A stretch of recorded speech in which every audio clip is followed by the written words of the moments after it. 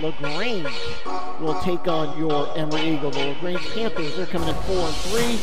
Emory comes in at 3 and 2 with that 33rd rank. Massey ratings of the 22 rank in D3.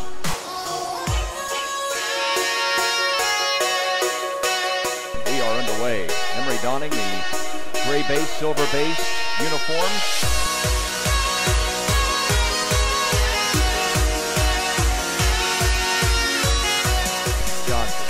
Then move in the paint, off glass, and in.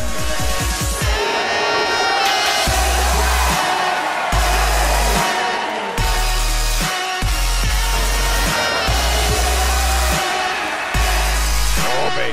Look at that move. Max Reed started left hand, exploded to the bucket, then went right hand, off glass, and in. Here comes. Dish, snare, off glass, and in. Portis. Yes, sir! Portis!